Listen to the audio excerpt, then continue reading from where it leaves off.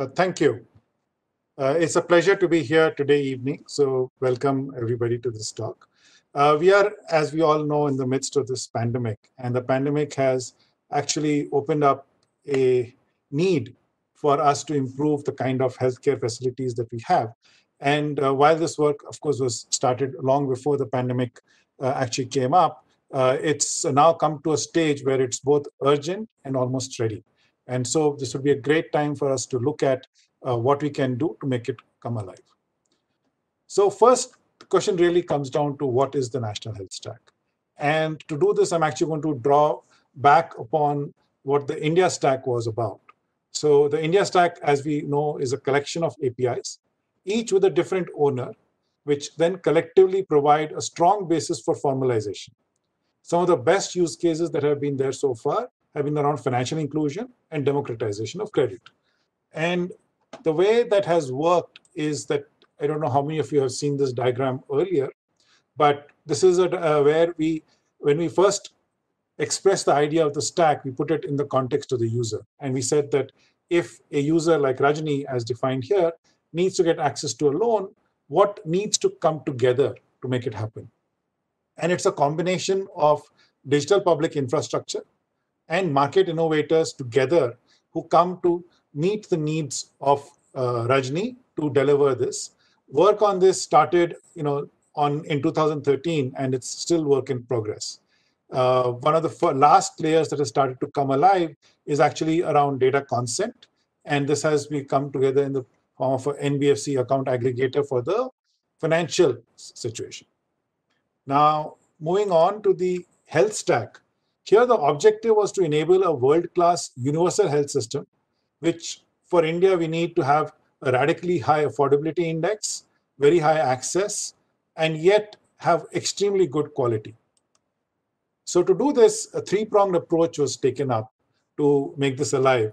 The first really was to improve the efficiency and capacity of the care delivery system. And this, we put a strong digital foundation in there. The second piece, and as you have learned from our experience with India Stack, was to realign incentives so that the approach can go from being a complete delivery of care instead of being a purely transactional cure focused approach. And finally, we uh, learned that we have to leverage significant healthcare events. So, for example, the launch of Ayushman Bharat and now the pandemic uh, to increase the scale and accelerate the development of the ecosystem so that we can get to the final goal of this wonderful healthcare system that we all deserve. Now, this brings us to the health stack itself. So if, you know, this is a fairly complex diagram and I'm going to spend a couple of minutes on this. So starting from the bottom is really the foundational elements that you would bring from what is around us. So this would be JAM and India Stack. And layered on this are really the plumbing layer, which is very strong digital infrastructure. Uh, so for example, a national registry of doctors and nurses, facilities, uh, drugs, pharmacies, and so on. Uh, all of these really need to be available in a digital form so that they can then be used for the purpose of healthcare delivery. Uh, the next piece is actually around personal health records. Uh, personal health records include everything from uh, electronic prescription, uh, discharge summary, diagnostic reports, labs, and so on. And finally, because all of this is going to be paid for, and if you remember, we talked about Ayushman Bharat, the whole idea of starting uh, with an insurance program, such like Ayushman Bharat, which covers everyone uh, below a certain uh, poverty threshold in the country, is to build a claim switch which can allow for uh, insurance claims to be processed very, very quickly, and so that then the health providers can be paid in time, and hence, you know, make the thing move much faster to take these individual pieces together, you then need a layer which will then do the orchestration and uh, delivery of services. So, for example, you need a protocol server which understands how a particular, what's the protocol to treat a particular ailment. Uh, you need diagnostic bots, you need matching engines which will match uh, patients to providers or uh, you know other kinds of matching that will be required Uh, this layer is all a part of a digital public infrastructure. It's uh, owned, uh, you know, and operated in a way that everyone can access it. And then this has to be layered on top with private innovation. And the private innovation comes in the form of an open health services network, which includes uh, today we are seeing a lot of teleconsulting programs come up and outpatient uh, delivery of healthcare. And all of these could then sit on top of this digital public infrastructure to deliver these services to the end users. So this could be in the form of a teleconsulting applica- uh, application on somebody's phone, it could be an OPD application, it could be done over a um, you know inbound uh, call center and so on. Uh, this is then linked with inpatient treatments, uh, pharmacy, diagnostics, and then we are actually seeing a uh, new type of entity come up which provides care for the patient. And they are actually uh, they act as fiduciaries in terms of the patient's uh, what they do. So for example we see people providing long-term diabetic care or for people for care with chronic ailments and so on as well as uh, you know care within say for a particular treatment program. Uh, and then these then get better served through health information systems and lab information systems as well as other platforms. And all of this is a combination of government private apps platforms which will together uh, put the right user experience and enable all of us to access the kind of healthcare that we are putting together so if you think of it, you know, come back to that same analogy with the uh, India stack, we see a the user at the center and their needs as expressed by the user, you know, around them, which are then uh, met by market innovators who are building a lot of the user-facing front ends. And this is then supported by digital public infrastructure.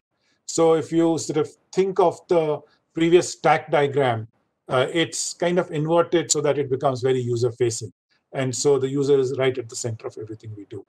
And so logically, if you think of the user journey, the user would want to seek care for certain ailments they have. And this would then be provided by various health monitoring apps and through personal health records. This would need a health ID as a part of the digital uh, infrastructure. Uh, the user would then want to share data with their care fiduciaries. And again, we have PHR comes in this situation. Uh, analytics enables these care fiduciaries to actually point you to the right care. Uh, and then this would result in getting the right options for care. And the matching engine and registries would play a big role in here. And then finally, the user would accept the best option. And in here, you would see nudges coming from gamification policies, matching engines, etc. Uh, the person would receive their care. This would involve teleconsultation, diagnostics, pharmacies, inpatient visits, etc. Uh, manage their health records, and then once uh, you get to a certain point, then you would raise the claim to an insurance policy and make the payment happen. And so all of this is really from the user's perspective, all their needs coming together through an ecosystem which is built on top of a public infrastructure. And this then actually uh, creates a uh, massive opportunities for healthcare players to uh, come in. And so, for example, uh, you would see them accelerate time to market adoption because they're leveraging public platforms that enhance trust. They're unlocking digital data to build AI-based solutions. Uh, it will also enable a completely new category of players who provide a continuous pair, uh, care and augmentation solutions. Sorry. So what will this national health stack enable? It, of course, uh, one of the core pieces that it enables is the personal health records. Personal health records will basically contain a summary of the diagnostic reports, discharge summaries, prescriptions, and it should be available on people's phones. And all of this can come together from different providers, and that would uh, make this come alive. Uh, teleconsultation services, again, they could use the PHR, and that would then provide the information to the healthcare provider, and then the healthcare provider would talk to the patient and come up with a prescription which would again get back into the personal health records. This will, in, just as you're doing teleconsultation, it could also enable outpatient visits and inpatient care. Uh, we expect that because the cost of processing a health claim will come down significantly, uh, insurance companies will be very comfortable with covering OPD costs as well, and not just inpatient care, uh, which is what they do today. In addition to this, uh, because this is a digital public infrastructure, it will help monitor outbreaks and mapping for pandemic-like situations. It will create an access to a digital data, data set for researchers. Uh, this, of course, will happen with patient consent, which will enable better AI modeling and will eventually create better decision support systems for patients. Uh, this will improve preventive care. And for example, this would uh, allow patients to monitor their health better uh, through maybe a better uh, availability of biomarker monitoring, which would then allow you to sort of allow patients to actually move towards wellness and not really worry, not to getting treated, because that would be the wrong outcome. So if you think in terms of the opportunities, you want to sort of think in terms of the different players involved. At the core, we of course have the new health stack infrastructure coming up. Uh, then we have digital health providers who are going to be facilitators for users. We have the um, healthcare providers themselves, for example, hospitals, clinics, and people building devices that provide personalized healthcare. And then finally, we of course have the payers and insurers who are going to pay for this. So sort of just walking through each of these components and how we expect that they will change. So infrastructure is really the first thing that's already starting to come up. We are seeing the creation of doctor registries, hospital registries, labs, etc., uh, even as we speak. And this is really the strong foundation that you need, uh, without which you cannot actually build any of the layers above it. We are seeing electronic health record tools come up. And again, these will continue to evolve and uh, we do expect to see a fair amount of innovation on this.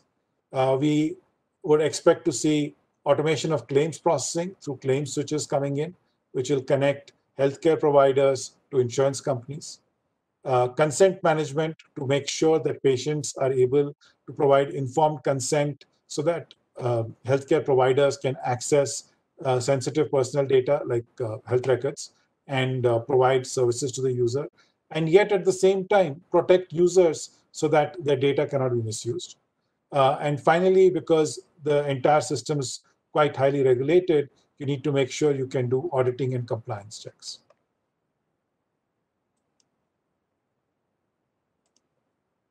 Uh, then we expect to see a completely new set of digital health providers. Uh, these will find accelerated adoption uh, because of enhanced trust in the ecosystem. Uh, the standard of care will be driven by the protocol server and hence will allow people to be very comfortable that the care they're getting is best in class or comparable to what the best standards are. Uh, the, there are agreed transparent business rules at the health services network, uh, which will actually provide the orchestration between front-end providers and back-end providers so that the entire uh, process is seamless for the user and that people can get paid in time and hence reduce costs. And so all of this is a result of increased trust. And so from a, uh, you know, I'm an investor and, you know, we look to invest. So we're going to see many of these people come in providing digital health lockers, advisory services, care managers, uh, insurance managers to help claims, teleconsultation providers, etc. All of this is expected to come in the uh, in the ecosystem very shortly. In addition to this, we will expect to see new healthcare providers who will uh, build in uh, decision support tools, hospital information systems. There'll be newer medical devices to provide uh, monitoring of patients themselves. And all of this is going to be driven by a lot of analytics data, which will help us to transform the hospital industry. And this will also because we expect claims processing to become much faster. This will improve the working capital requirements for hospitals. And then finally, from the insurer side, we will expect that because many of these things which were taking a bulk of their time today are going to get automated, we should expect to see a bunch of uh, digital personalized health insurance products that will be enabled, the better underwriting models because there's more data available, which will allow us to make better decisions, and at the same time, provide pricing flexibility from personalization. And finally, we expect all of this will move towards a wellness regime and not a care regime, because that's really, I think, the best outcome that we can hope for. So that being said, if we think in terms of the uh, whole uh, universe of what people expect from healthcare, so if you are well, you know, you really today have no action.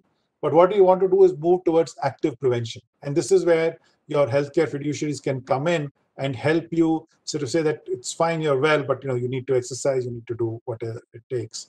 Uh, if you start to become at risk, uh, biomarker screening can help us sort of let people know that they're at risk and hence uh, go back towards the wellness state and get into active prevention. Uh, if you have early symptoms, you would want to go from uh, you know, just seeking information online. Uh, you would actually go to care fiduciary who would then help you uh, deal with the symptoms you're seeing. Uh, diagnosis would be better done. If you are unfortunate and get hospitalized, then you would actually have protocols driving best practices. And all of this is powered through a strong digital foundation. And that really will give us a better outcome for all. And finally, if you so happen to require chronic care, then you know you would want to have a cohort-based guidance on helping you get through it so that you come out and are much better off. So this is really the way we expect to see the world change because of what the health stack is doing. And it's a sea change. But you know, from an entrepreneur's perspective, this is the best time to get involved because this is really where you've got these massive problems facing our society and this is an opportunity to solve those problems and to get involved to create a better future because there's an entire ecosystem at work trying to do this. And every effort to solve problems can then result in a better outcome. Uh, thank you.